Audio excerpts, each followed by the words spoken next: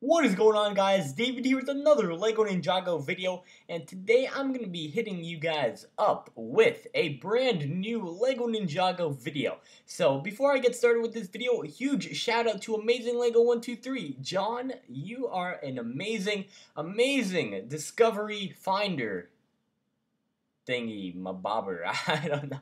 Um, but yeah, basically, guys, as you all can see, here's the final flight of Destiny's Bounty. And, you know, obviously it looks like a normal set. But then, in the set itself, we basically receive... Uh, let me just zoom in on this picture. Oh my goodness, this is so pixelated. Alright, so as you guys can see, um, right here we receive a pirate's hat and a pirate's cutlass. Now we do not need to use these items in the set, but they were just placed there, apparently for no apparent reason. And so, you know, everybody's now thinking, you know, what is going on? You know, why did they place those items there? They belong to pirates. Well, guys, and uh, this is basically what uh, Jon Amazing Lego 123 has come up with.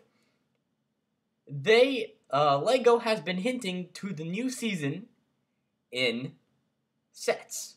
Now, I don't really know what other clues there are in other sets, but if you guys find something unusual in one of your sets, um, obviously, please uh, tell me in a comment section, um, because I really would like to know if there are other clues to the Pirate Season in, um, basically, uh, 2015 sets, but honestly, guys, I'm pretty hyped, um, and so they obviously have been uh, hinting at pirates in the TV show, and now they have also been including uh, spare parts hinting towards pirates in actual LEGO sets. Now, why would they just put it in the Destiny's Bounty set, though, um, and make it very noticeable? What I really think is up with this is that, you know, the Destiny's Bounty used to be a pirate's ship. So, um, in the season six uh, teaser, of course, uh, the mayor or the police chief, somebody in uh, high power in uh, Lego Ninjago universe, basically, or Ninjago City at least, um, basically said that uh, the police, or the, basically he just said they.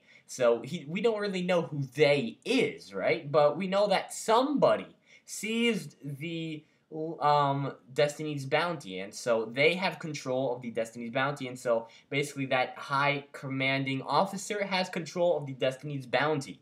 And so could that possibly be hinting at that that um the officer that basically told uh his uh, police whatever they are police officers I guess um to take over the bounty because he is a pirate himself. I don't really know too much on what's going on.